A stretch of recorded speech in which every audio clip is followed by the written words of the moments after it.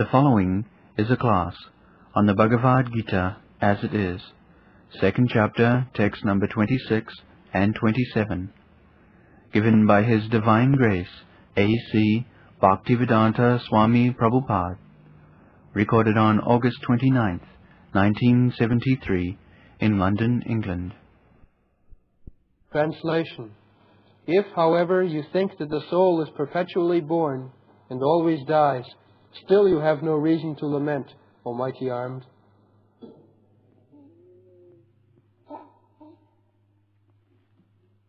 उथश्चैनां नित्यजातं नित्यं वामन्नसी मृतम् तथापि तं महाबाहो नैनं शोचितुमर्हति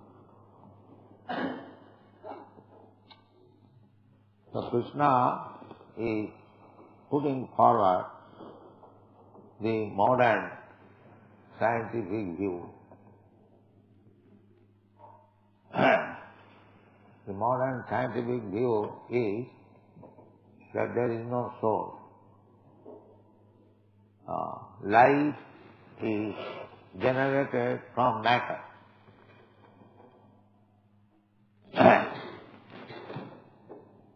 By combination of material elements, at a, just like chemical combination, you mix acid and soda, alkali and acid, there will be some reaction, effervescence, movement.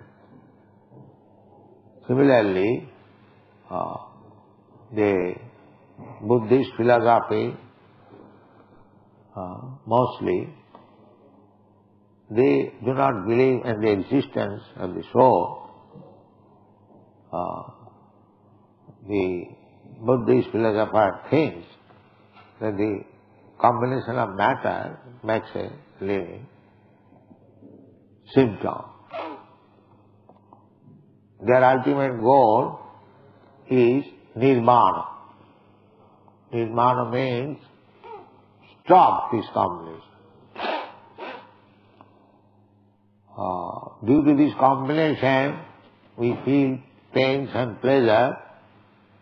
Therefore, if we uh, disintegrate the combination, there will be no more pains and pleasure. Materialistic.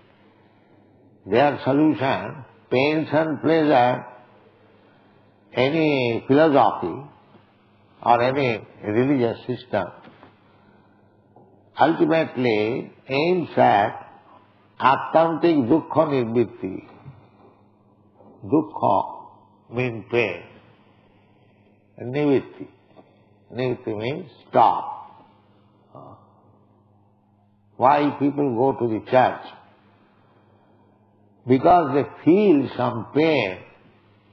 They go to church or temple to appeal. If there is somebody has gone, they think like. Let me appeal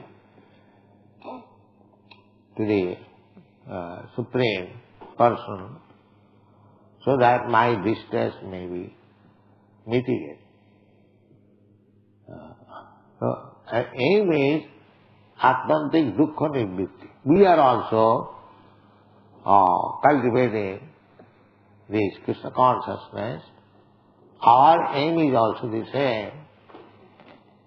Dukkha Nivritti. Krishna says, Janma Mrityu Jarabhyadi Dukkha Dusanadarsanam. We keep always in view that in this material existence there are four kinds of miserable conditions primarily and to stop this dukkhalayama. So everyone's aim is dukkha nivritti. It may be presented in a different way. So, the Buddha philosophy is also dukkha nivritti. Stop pains. Anandamaya Abhyasa, we are, by nature, we want blissfulness. but we do not know how to become actually happy and blissful. That is ignorance. In the material world, they also want to enjoy. Everyone. Uh, they are thinking that this uh, wine, woman, meat eating, gambling, uh, intoxication, these things will give me pleasure. So authentic dukkha nubhiti. Uh, the Bhagavad says that authentic dukkha nibbitti means ultimate solution of miserable condition uh, is in the um, fact that we realize God and we go back to home, back to God. This is our pleasure. And persons who cannot understand what is God, what is kingdom of God, uh, they want to adjust. The aim is the same, nibbitti, ultimately solution of all, in a different way. So, Krishna says, uh, putting forward the Buddha philosophy, which was formerly known as uh, Lokai Tikas and uh, the two kinds of philosophers. Uh, they did not believe. Uh, mostly the materialistic philosophers, they have no understanding of the soul, therefore they have different kinds of theories which we do not accept.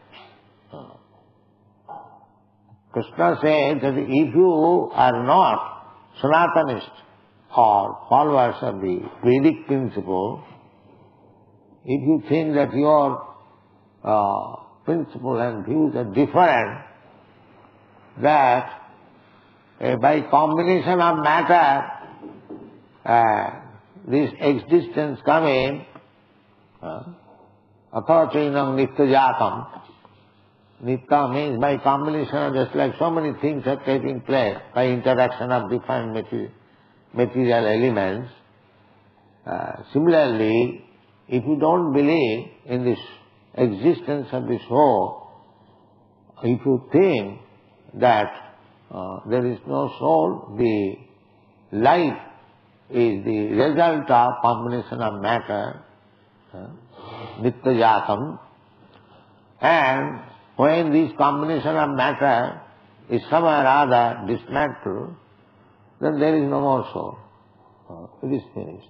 It began at a point by combination of matter and it ends in a point by disintegration of matter.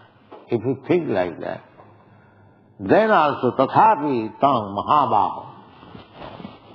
Krishna is uh, criticizing Arjuna, Mahabaho.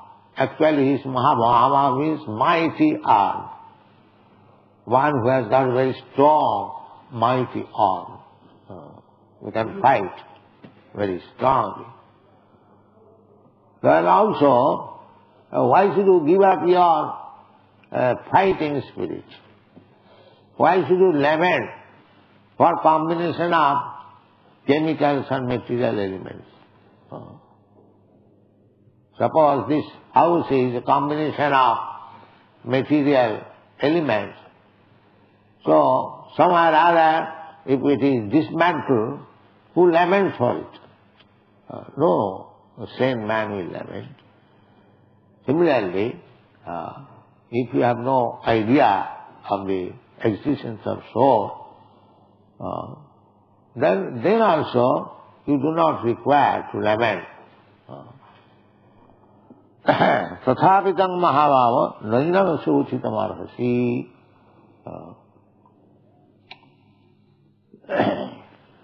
For one who has taken his birth, death is certain, and for one who is dead, birth is certain.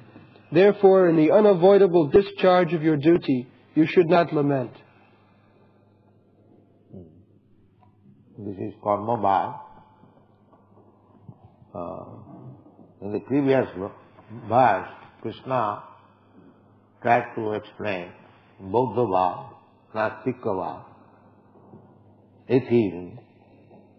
Atheist means one who does not believe in the soul and God.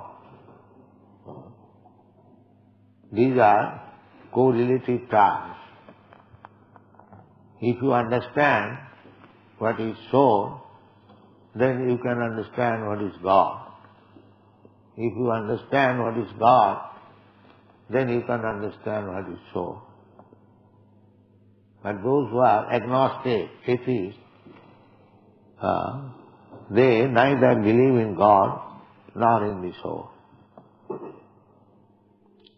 So combination of matter, here Krishna says in a different way, the combination of matter is taking place and again it is being dismantled. That is going on. Uh, either there is soul or not soul, just like Darwin's theory, evolution of material body. So that is going on.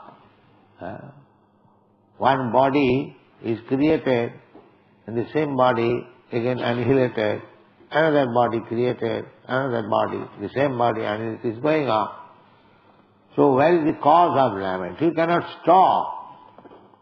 You cannot stop this process. जातस्य हि ध्रुवो मृत्यु ध्रुवं जन्म मृतस्य च तस्माद अपरि हाज्य अर्थे duty. The same thing is going on. Duty is very important thing. Krishna is stressing on it. One cannot stop his duty. Then he becomes uh, sinful. That is karma He, just like uh, so many people, they argue that we, if we discharge our duties nicely, uh, then uh, where is the need of accepting God? The Karmavad philosophy is that uh, if there is God, then uh, he is giving us the result of our activities. As if I do uh, nicely, then he gives me nice opportunity. Uh, and if I do not do things very nicely, I am put into suffering. So there is a karma phal data decides, there is a high court judge, he is giving judgment according to the case, different cases. Similarly, our uh, goodness or uh, badness will be decided according to our karma. That is also fact. Then what is the use of accepting one God?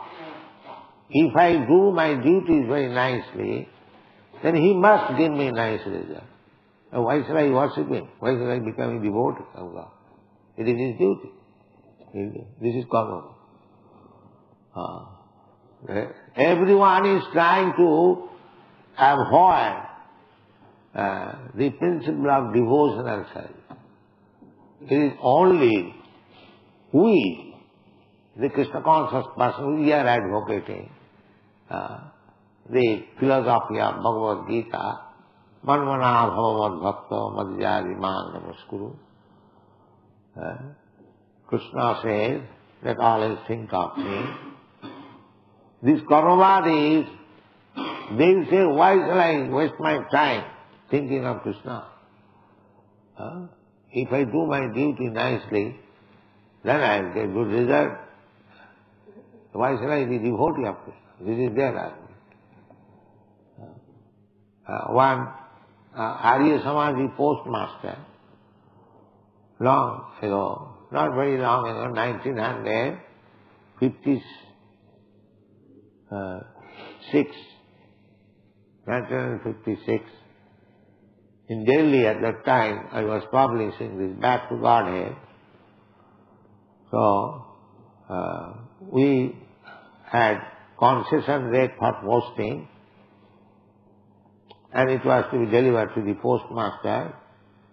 So the postmaster was talking with me about the paper back to Godhead. He uh, raised the same question. He said, if we do our duty nicely, then what is the use of worshipping God? If we become honest, if we become moral, uh, if we do not do anything which is harmful to anyone, in this way, if we act, then where is the, because our paper's name is back to Godhead. So, you are indirectly protesting, okay, what is the use of propagating this philosophy of Godhead if we act nice? The Arya Samaj's view, they are called, uh, there is his name, what is called? You forget now. Oh. Moralist, the technical name there is. anyway, so, this is their point of view. How to avoid God? So I reply uh, that if one is not God conscious, he cannot be moralist, he cannot be truthful, he cannot be honest. Uh, this is our point of view. Uh, you study the whole world only on these three points. Morality, honest, uh, and dutiful. So many nice things are there. But uh, if he is not God conscious, he cannot continue such thing. He must fail. Uh, even the, there are so many instances, uh, even amongst the uh, devotees, because this uh, material world is made so that you cannot continue this principle uh, perpetually. Uh, that is explained in the Bhagavad Gita, you find. Because the three modes of material nature is working, even if you are on the platform of goodness, the other modes of material nature will uh, try to attack you. And your goodness, morality, uh, honesty, this thing will be uh, polluted by the onslaught of the other two uh, inferior modes of nature. Therefore, sometimes we find that a very nice man committing some uh, sinful activities. So, the decision of the Srimad Bhagavatam is that Harava Bhaktasya Kuto Mahad Guna. Uh, Mahadguna, uh, we can find it easily, just like we say uh, that no illicit sex, no meat eating. We consider this is sinful. But there are other big, big leaders, politicians, philosophers, even religious priests, they do not think that uh, this is immoral or this is sinful. Meat eating is sinful. Wow, what is the sin there? Uh, illicit sex, uh, what is wrong there? Intoxication, what is wrong there? They do not find any immorality. Uh, so these standard of morality, there cannot be fixed up if one is not God conscious. There cannot. Standard of morality, uh, standard of goodness, cannot. That is the decision of this Srimad Bhagavad. Rama Bhaktasya Kuto Mahadguna. Oh. Lack of Krishna consciousness. Uh, they think that animal has no soul. uh, they do not accept this morality that animal cannot be killed. Uh, it is sinful, it is immoral. They have created their own theory. Uh, so without being standardized by Krishna consciousness or God consciousness, you cannot find the uh, standard platform of morality, honesty, these things you cannot find. This is not possible. Therefore, the verdict of the Srimad Bhagavatam is Parava Bhaktasya Kuto. Just like if you uh, do not follow a standard law, how you can fix up this is morality or this is honesty or dishonesty. That must be standard law. And who can give you the law unless he is the greatest authority? So, uh, law changes according to different countries, climate, situation. So man-made law cannot give you standard morality, honesty. It is not possible. There's one will think this is morality, another will think, no, this is not morality. Same thing. Keep to the left, keep to the right. Somebody says keep to the left is right. Somebody says keep to the left, it is right. Monorathena sato dhavato vahi. Because those who are not Krishna conscious, they are hovering on the mental plane. They cannot be, there cannot be any fixed up morality, honesty, dishonesty, no. And rascals will also say, jatamot, tatamot, tatapot. Means, whatever you think is alright, that is all. According to you, your conception, this is right. And according to my conception, both of them are right. How both of them can be right? So these contradictions, opposing elements, will continue unless there is Krishna consciousness. So, this is not a fact that the karmavadis simply by discharging your duties nicely, uh, this is uh, on principle it is all right. But we must know what is actual morality. Uh, there are so many examples. That like uh, when there is war, to kill the enemies, that is morality. But in peaceful condition, if you kill a person, there is immorality or sinful. The process is the same. Morality uh, uh, or immorality, the process is the same. But sometimes it is moral, sometimes it is immoral. How it will be standardized? Therefore Bhagavad says, Dharmantu sakshat bhagavat pranitam. Real dharma, real religion, morality, honesty, they can be decided on the words of the Supreme Lord. That is it. When Krishna says, this is all right, then it is all right. When Krishna says, it is not right, then it is not right. This is our decision. We Krishna conscious man, we simply accept, and that is a fact. That is a fact in this way because Krishna is the greatest authority, supreme being. Supreme means the greatest authority. Uh, just like state says, now it is what time?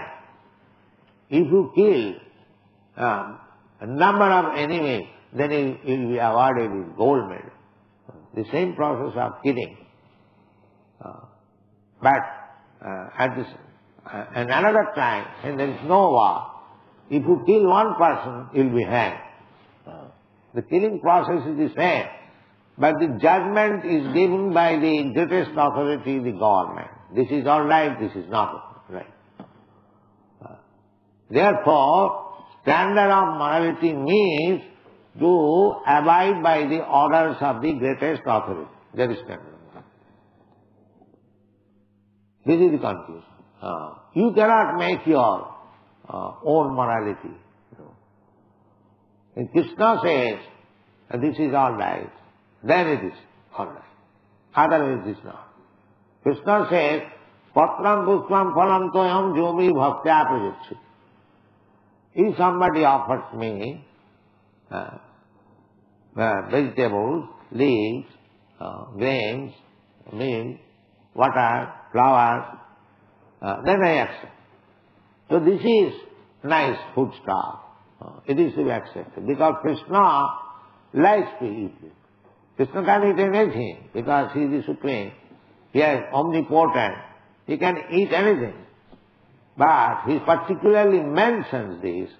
Therefore, food stuff made of these ingredients is nice, sattvic, goodness. So, so the karma that you follow morality, you'll get good results. But where is your morality? Because you are disobedient to God. In the beginning of your life, you are immoral. You are disobeying the greatest authority. There is another example, story, that a gang of thieves, uh, they stolen some property from different houses, then out of the village they are dividing amongst themselves the booties. So one thief is saying, please divide it morally, so that one may not be cheated. Now just imagine, the property is stolen. Where is the morality? There. But when dividing, they are thinking of morality. The basic principle is immoral. Where you can uh, have morality.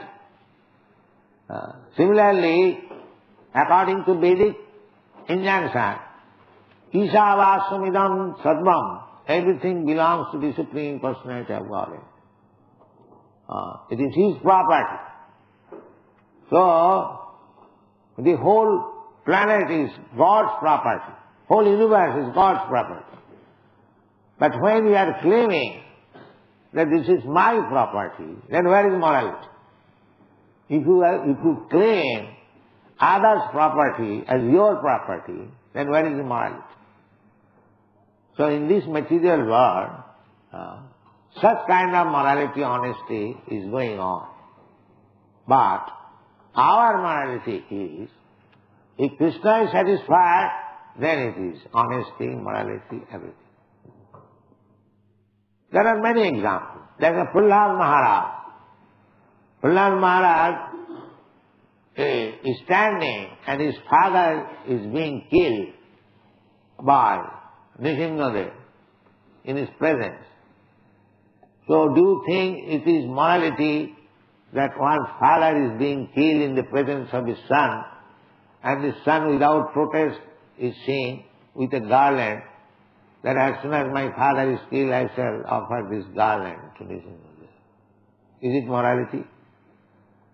From material point of view?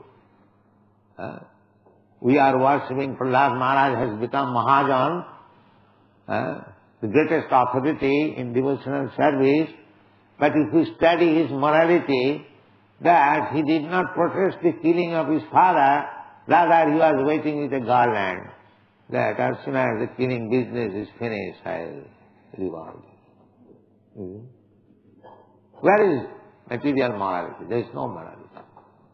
The gopis, they are young girls, wife of somebody, sister of somebody, daughter of somebody. But when Krishna was playing on his flute at dead of night, uh, they gave up all their engagement and began to run where Krishna is present. So, from Vedic standard of view, this is immorality. Uh, they are going to another young boy and living family, uh, even somebody, uh, some of the gopis uh, they left their sons also, went to Krishna. From material point of view, this is immoral.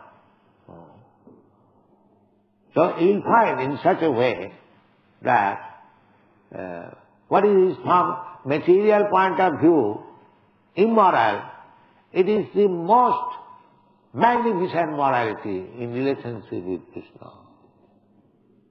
And similarly, uh, uh, the, from material point of view, what is moral, that is most, uh, I mean, it's abominable from the point of view. Just like Yudhishthir Maharaj.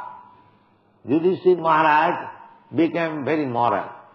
Krishna advised him, just go and tell Dronacharya that your son is dead. Although his son was not dead. Because Dronacharya will not die unless he hears the news of the, the death of his son, he will not die. So, so he will not believe anyone. But Yudhishthir Maharaj is famous, very moral. So Krishna asked him that you go, otherwise he will not believe anyone. So Yudhishthir Maharaj hesitated. How can I say lies? So for this, he had to see uh, health. Uh, it became immoral. Man nimitte kritam papam punna eva kalpata. So our standard of morality and immorality is to see whether Krishna is satisfied. If Krishna is satisfied, then it is morality. If Krishna is dissatisfied, then it is moral. And Krishna is representative also. Therefore it is said, Jasya prasadad bhagavat prasad. Jasya prasadad nagati vitu. Our morality is to satisfy Krishna or his representative, Guru. Jasya prasad. If he is satisfied, then it is moral. If he is not satisfied, then it is immoral. Nagati kutu. That is our morality. Thank you very much.